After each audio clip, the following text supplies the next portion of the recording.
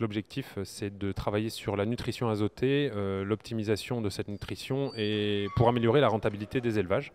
Donc mettre en avant les leviers techniques permettant euh, d'améliorer l'autonomie protéique et euh, le revenu de l'exploitant. Euh, donc à ce titre, on a créé neuf fiches leviers qui sont, qui sont disponibles sur le site internet du projet.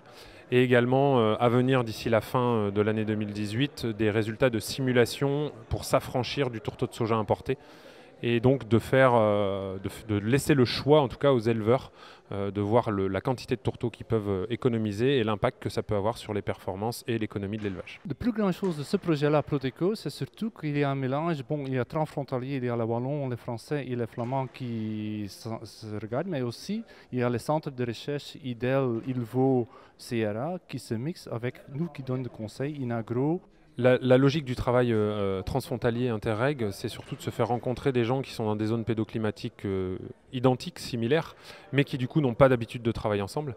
Et on se rend compte qu'à quelques kilomètres près de part et d'autre de la frontière, les pratiques sont complètement différentes.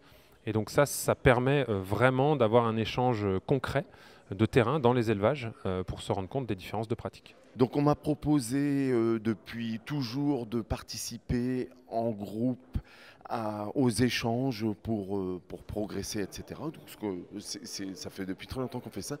Et quand on m'a proposé il y a quelques années de le faire avec nos voisins belges, j'ai sauté à pieds joints dedans tout de suite parce que je me suis dit, je suis curieux d'aller voir ce qu'ils font et comment ils font, parce qu'on a toujours l'impression que c'est mieux chez les autres.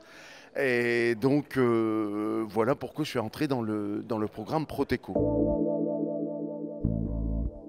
Ce qu'on a appris surtout, c'est que c'est vrai qu'en Flandre et en Wallonie, on utilise beaucoup plus de concentré dans notre calcul de ration qu'en France. Euh, je pense l'utilisation de herbes, c'est aussi un point fort que nous, on avait, qu'ils essayent d'apprendre de nous.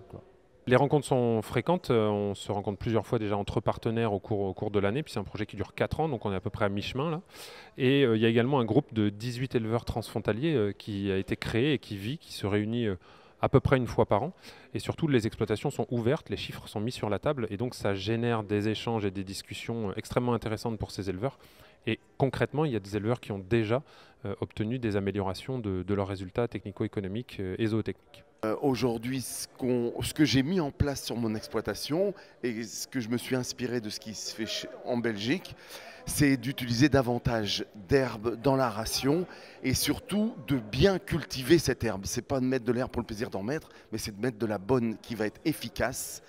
Et donc euh, j'ai vu les résultats puisque mes taux euh, de matière grasse et de protéines ont bien évolué euh, dans, ma paye de lait. Et en même temps, ben, on consomme encore un peu moins de concentré. Euh, puisque pour le coup, j'avoue quand même, c'est ce qui est un petit peu...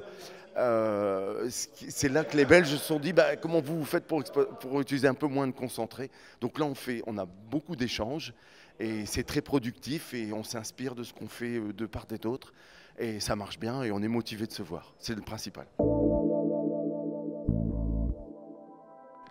Bah, c'est de poursuivre le travail autour du groupe euh, justement transfrontalier avec les 18 éleveurs. Euh, c'est de parvenir à analyser un peu plus finement les rations qu'on a dans ces zones-là et à utiliser le modèle INRA euh, à travers Web pour voir un petit peu ce que ça donne en termes de valorisation des fourrages. Et puis de poursuivre les travaux d'investigation sur le lien à l'environnement, puisqu'on a encore des choses à voir autour du lien entre la nutrition azotée, les rejets de la vache et l'environnement.